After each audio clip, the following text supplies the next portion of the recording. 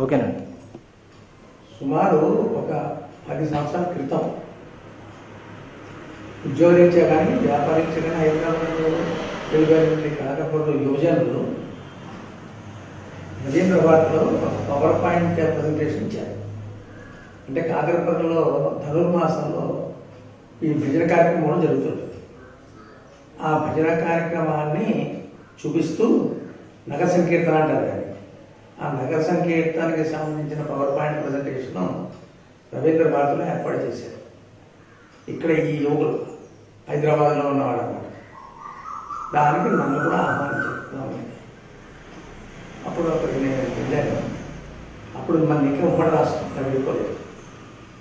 అప్పుడు శ్రీధర్ బాబు అని ఒక మంత్రి గారు ఆయన ఇంకా కొంతమంది పెద్ద పెద్ద ఆ సభకి హాజరయ్యారు.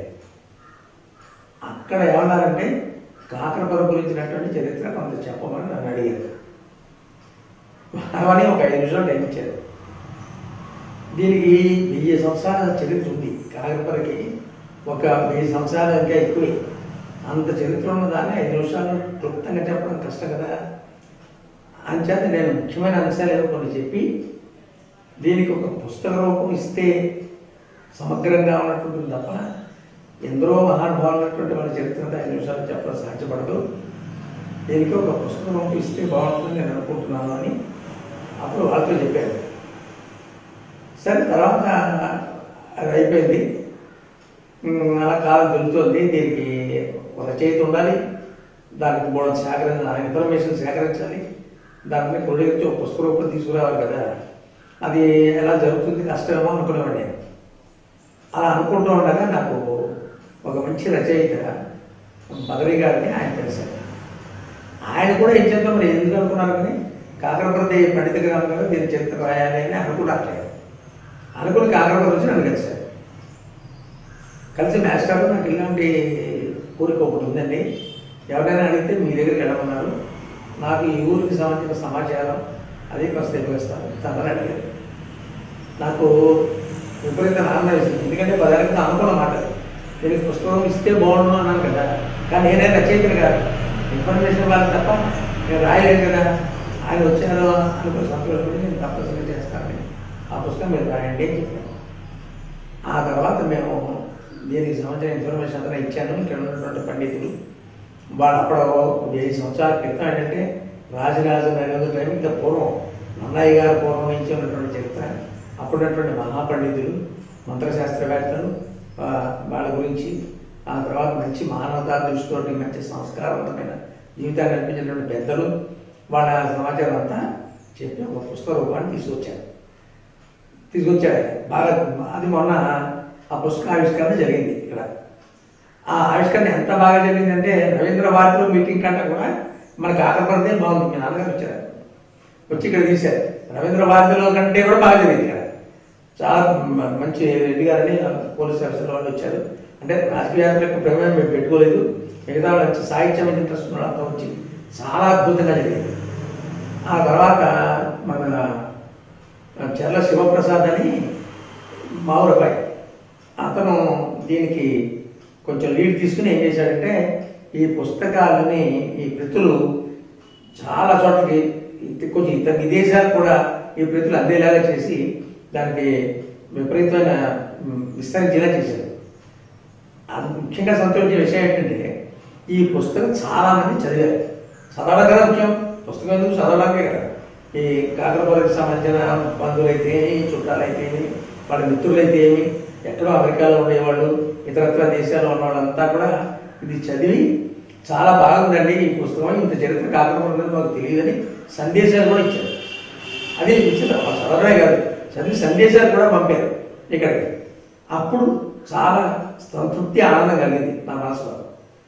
ఇంకా ఏంటంటే ఈ ఇంకా కొంచెం ఈ చరిత్ర రాను చెప్పాలి అంటే కాకపోతే చరిత్ర అలా పెద్దల యొక్క యుగం కొంతకాలం గడిచిన తర్వాత నెమ్మది నెమ్మదిగా అప్పట్లో ఏంటంటే చాలామంది ఈ వ్యవసాయాలు అవి ఉండేవి భూ భూములు ఎక్కువ ఉన్నటువంటి జమీందారులు అంతా ఉండేవారు కనుక అందరూ పిల్లలైతే పెద్దలైతే కొంత వ్యవసాయ భూములు వ్యవసాయం చేసుకుంటారు కొంత కార్యక్రమం చేసి పాండిత్యం నేర్చుకుంటూ అలాగా. అయితే రామారాయణ అంటే ఇంకే వ్యవసాయాలు కూడా తగ్గిపోయాయి.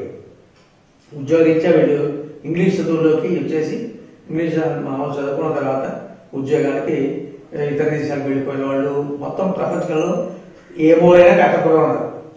ఏ దేశంలో? అటు ఇది అదే లేదు. బ్రిటన్లో ఉన్నారు ఆస్ట్రేలియాలో ఉన్నారు ఇంకా అమెరికాలో సరే సరే ఇంకా అన్ని దేశాలకు వెళ్ళారు అన్ని నగరాల్లో ఉన్నారు. అలా విస్తరించి వెళ్ళిపోయారు. ఇంక ఇక్కడ సమాజం తగ్గింది.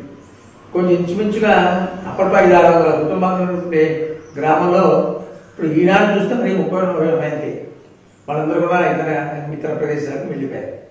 అందుకని ఆ జనరేషన్కి మరి కాకపోతే ఇక చరిత్ర తెలియదు కదా. వాళ్ళందరూ కూడా ఇప్పుడు తెలుసుకుని చాలా ఆనందపడ్డారు. ఈ పుస్తకం చదివిన తర్వాత వాళ్ళు ఆనందపడి ఆ విషయం మాకు మెసేజ్ ద్వారా చెప్పేటప్పుడు నాకు విపరీతం సంతోషం ఆనందమైంది అది రాను ఏమైందంటే వచ్చే కొద్దీ ఇంకా సమాజంలో ఒక రకమైన గౌరవం ఉన్నంత ఆప్యాయతలు కానీ అనురాగాలు అవన్నీ కొంచెం తగ్గిపోయాయి. తగ్గిపోయి ఇంకా మామూలు ఎవరి గురించి పట్టించు కొంచెం కాస్త సంకుచత్వం సార్ స్వార్థవర్తాలు అనలేం కానీ కొన్ని ఇంచుమించుగా అలా వచ్చేసింది. నేరగా అయిపోయింది ఎవరు ఎవరి గురించి పట్టించుకోవడం కానీ ఒక మాట కలయిక కానీ ఆమె పూర్వం ఉన్నటువంటి ఆ ప్రేమ అనురాగాలు అలాంటివి లేకుండా పోయాయి. ఇది కూడా ఏమైందంటే అలా కొంచెం కొంచెంగా చాలా కాలం అలా జరుగుతూ వచ్చింది. అలా జరుగుతూ వచ్చిందని ఒక పదిహేను సంవత్సరాల తర్వాత ఈ శివప్రసాద్ తమ్ముడు రాముడు మెస్టర్ మీకు ఐడియా ఉందేమో అప్పటికి అతను మొదట్లో బీఎస్సీ చదువుకుని ఏమో చూస్తుండేవి చెప్పుకుంటూ ఉండేవాడు. మరి అతను ఎలా ఎదిగాడో నాకు తెలియదు కానీ కొంచెం రాజకీయంగా ఎదిగాడు అప్పుడు రాజశేఖర రెడ్డి గారు టైం పీతా సత్యనారాయణ ఇక్కడ మనకి ఎమ్మెల్యే. ఇతను మరి ఆయనతో స్నేహం ఎలా అయిందో తెలియదు కానీ మొత్తం మీద ఆయనతో స్నేహం చేసుకున్నాడు. సహజంగా మరి తన సొంత తెలివితేటల వల్ల కానీ వాక్చాతుర్యం వల్ల అయితే ఆయనకి బాగా సన్నిహితుడు అనే స్థాయికి ఎదగలిగాడు సత్యనారాయణ గారు. ఎదిగిన తర్వాత మొట్టమొదటిగా అసలు మన గ్రామానికి ఈ ఈ ఊళ్ళో ఈ ఊరికి ఏదో ఒకటి మనం ప్రభుత్వం తరఫున వచ్చినటువంటి వనరులు తెచ్చి మనకి చేయాలి అనే ఆలోచన మొట్టమొదటిగా ఆ అబ్బాయి కూడా వచ్చింది. చాలా కాలం తర్వాత. అతను ఆ పీతా శక్తి గారిని పట్టుకుని తన స్నేహాన్ని ఉపయోగించుకొని ఏదో ఒకటి అసలు ప్రభుత్వం నుంచి మనకి ఏ రకమైనటువంటి గ్రాంట్ వస్తున్నాయో తెలుసుకుని ఇక్కడికి ఒక గ్రాంట్ పట్టుకొచ్చాడు ముందు. మొట్ట అప్పుడు సర్పంచ్ కూడా ఉన్నాడు నాకు. ఆయన కూడా సాయం చేశాడు. సంగీత సింహాచలాన్ని అతను ఉండేవాడు. అప్పుడు ఏం చేశారంటే మొట్టమొదటి బ్రిడ్జికి కూడా తీశారు. అప్పుడు ఆయన లాకులు ఉన్నాయి చిన్న బ్రిడ్జి మీరు అవుతుంది కాబట్టి అది ఉంది. లారీ వచ్చే దాని నుంచి బాగా ఎక్కువ వస్తుండే. అది ఎప్పుడు పడిపోతుంది తెలిసిందే ఎవరు ఇక్కడ ఎవరికైనా చేసుకుంది రాజకీయంగా మా ఊళ్ళో అంత పెద్ద నాయకత్వం ఇక్కడ లేవు. అంటే ఆర్థిక వర్గంలో ఉన్నప్పటికీ రాజకీయంగా అంత పెద్ద ఆ, ఉన్న వాళ్ళు కానీ ఎవరు లేక ఆ ఏ గ్రామం ఇక్కడికి వచ్చేది కాదు. ఆ వద్ద ఎప్పుడు కూలిపోతుందో తెలిసింది. ఆ టైంలో ఒక గ్రాంట్ తెచ్చి ఇప్పుడు మీరు వచ్చినట్టు విశాలంగా ఉన్నటువంటి బ్రిడ్జ్ ఒకటి కట్టారు. చిత్రం ఏంటంటే రాజశేఖర రెడ్డి గారు ఓపెన్ చేశారు. ఆ బ్రిడ్జి ఓపెన్ చేశారు. ఆయన ఓపెన్ చేసినప్పుడు ఏమన్నాడంటే ఇలాంటి పండిత గ్రామాన్ని దర్శించే భాగ్యం నాకు కలిగింది ఈ బ్రిడ్జ్ వాళ్ళతో కూడా ఆయన పుణ్యవాళ్ళు చెప్పాడు. చెప్పి మొట్టమొదటిగా రాముడు మేసలో ఆ బ్రిడ్జ్ ఒకటి ఏర్పడింది. ఆ తర్వాత కూడా అతను ఏం చేశాడంటే అప్పుడు ఉన్నవల్లి అరుణ్ కుమార్ గారు ఎంపీ రాజమండ్రి గారు. అప్పుడు కాంగ్రెస్ మనం విడిపోలేదు అప్పుడు ఆయన దగ్గరికి అక్కడికి వెళ్ళి ఏం చేశాడంటే అక్కడ ఎంపీ లాడ్స్ ఉంటాయి కదా మొత్తానికి తను సెక్రటేరియట్ దాకా కూడా వెళ్ళగలిగే స్థాయికి ఎదిగాడు. ఆ సెక్రటేరియట్ దాకా వెళ్ళి అక్కడ దాకా వెళ్ళి చేశాడంటే ఆయన దగ్గర నుంచి ఒక పది లక్షల రూపాయలు గ్రాంట్ పట్టుకొచ్చాడు పట్టుకొచ్చి ఏం చేశాడంటే ఇక్కడ ఒక కమ్యూనిటీ హాల్ పేరు కమ్యూనిటీ హాల్ కాదు ఇది కళ్యాణ మండపం. కానీ కళ్యాణ మండపం అని పేరు పెట్టకుండా ఒక కమ్యూనిటీ హాల్ బ్రాహ్మణ్ కూడా కట్టుకుంటామనే దృష్టి మీద ఓ పది లక్షలు పట్టుకొచ్చాడు. పట్టుకొచ్చేదంతా అంటే అంత క్రితం అతను ఏం చేశాడంటే అన్ని వర్ణాలకి కమ్యూనిటీ హాల్స్ కట్టారు. గవర్నమెంట్ నుంచి గ్రాంట్ తెచ్చి అటు బోర్మల ఎస్సీలకి బీసీలకి ఎస్టీలకి అందరికీ అక్కడ ఇక్కడ కూడా ఒక కమ్యూనిటీ హాల్ కాపులకి ఇలా మొత్తం అందరికి కట్టారు. కట్టి మా అందరికీ కమ్యూనిటీ గ్యాస్ ఉన్నాయండి. ఒక మా బ్రాహ్మణకే లేదు. ఇది కట్టుకుంటాము అని చెప్పి అంటే వాళ్ళతో చెప్పుకుంటాడు కళ్యాణ మండపం కట్టుకుంటామని. ఆయన ఒక లక్షలు గ్రాంట్ ఇచ్చాడు. అలాగే పీతా సత్యనారాయణ గారికి కూడా కొంత ఇచ్చాడు.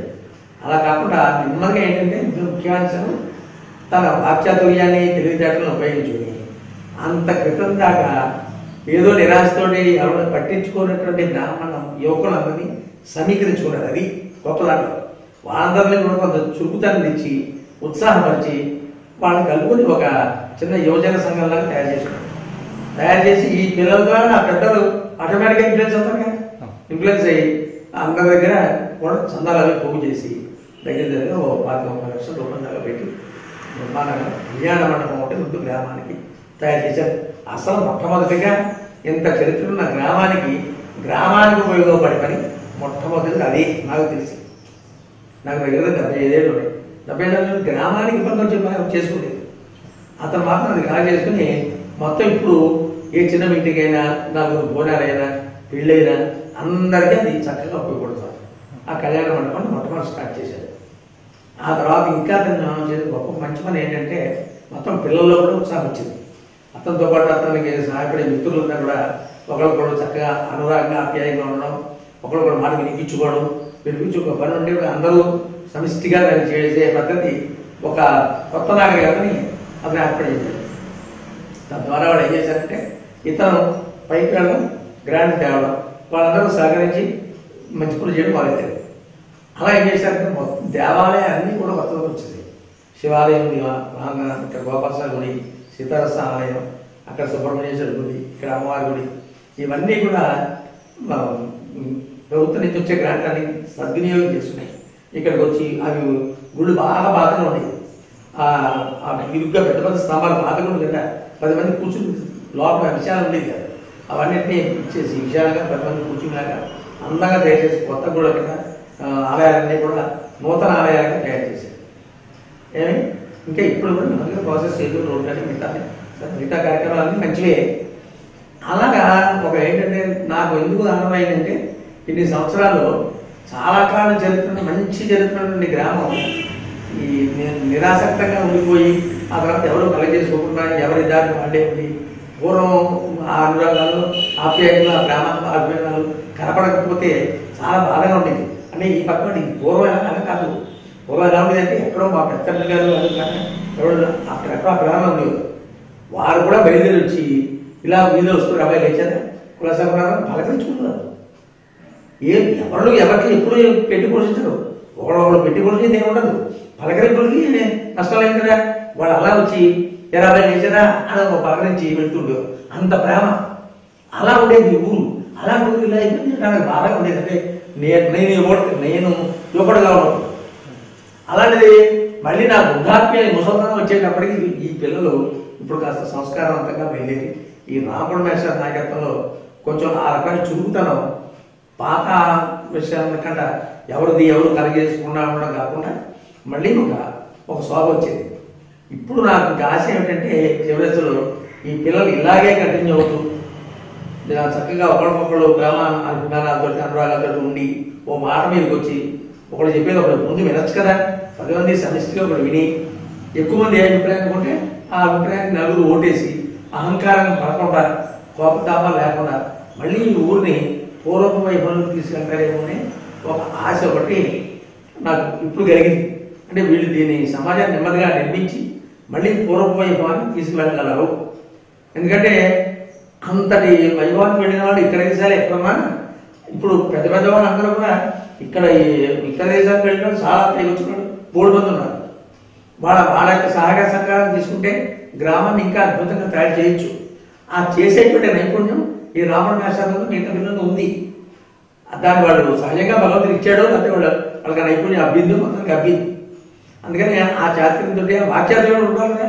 తెలివితేటలు ఉండాలి మాట్లాడేది ఉండాలి. ఆ జాతర చేసి వాళ్ళ సహాయం తీసుకుని దీనికి మళ్ళీ ఒక గ్రామాన్ని కూడా మంచి శోభని వాళ్ళు తీసుకొస్తారు అనేటువంటి ఆశ నాకు మాత్రం ఇప్పుడు మనసులో ఉంది. అందుకని అటువంటి సంతృప్తి నాకు వచ్చింది అని చెప్పడానికి ఇది ఏర్పాటు చేయాలి ఇలా ఈ ఏర్పాటు జరిగింది అనమాట అందుకని నేను ముఖ్యంగా చాలా చాలా అంటే నూరుకి నూరు పడాలని ఆనందించాను. ఆ పుస్తక ఆవిష్కరణ ఒకటే కాదు ఇలాంటివన్నీ చూసిన తర్వాత పర్వాలేదు ఈ పిల్లలు కాస్త చైతన్యంతో అయ్యారు. ఒకరికొకరు సమస్యగా మాట్లాడుకుంటున్నారు. వాళ్ళలో ప్రేమ అనురాగాలు ఉంటాయి. అభిప్రాయం ఏదైనా ఉంటాయి. అందరూ కాకుండా ఎప్పుడు రాదు వస్తారని రారు కదా. అలాంటి మాత్రం చేత విడిపోవడం విరోధం ఉండడం కాకుండా దాని మళ్ళీ అందరూ కలుసుకుని మాట్లాడుకుని ఎక్కువ మందికి ఏది నచ్చితే ఆ ప్రకారంగా వెళ్ళాం ఆ రకమైన పద్ధతి ఒకటి వచ్చింది ఇప్పుడు. అంతేగాని ఇలా పూర్వం నాకు నా మాట మనం వెళ్ళదని కోపించి విడిపోవడం లేవు నలుగురు కూర్చొని మాట్లాడుకున్నారు.